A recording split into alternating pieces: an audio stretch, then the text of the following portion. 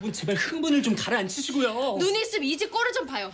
당신은 이걸 보고도 그냥 나온 거예요. 여기 신고 들어온 집들 가보면 다 이래요. 다 엉망진창이라고. 그런 집 산다고 애들 부모한테서 분리하기 시작하면 그 애들 다 어디로 보낼 건데요? 어? 너가 맡을래? 너? 지금 너라고 했냐? 그래 너라 그랬다. 어디서 이런 꼰대가 와가지고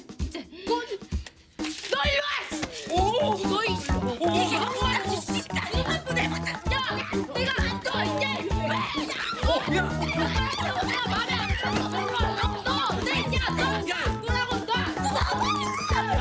너 야! 그만해. 이쯤 했으면 됐어. 그 조그만 게 하루 종일 갇혀있다 목숨 걸고 지붕이를 걸어서 도망쳤어. 신고가 없었던 것도 아니고 애를 보고 간 어른들이 이렇게나 많은데 왜 애가 목숨을 걸어야만 살아남을 수 있는 건데 왜? 그걸 왜 나한테 뭐라 그러는데? 안 되겠다. 너 일로 와! 야, 김준희!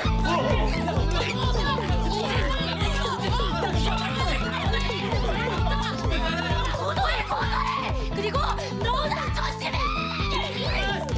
야, 김준희! 던지지 마! 아이씨, 아니 정신머리가 아주 썩어 빠졌어 그냥. 어, 이제 네가 아주 하다하다 구청까지 뒤집어 놓는구나. 신발, 신발 시켜. 아니 사람이 어떻게 저렇게 뻔뻔하냐고. 아, 좀 진정해, 진정해.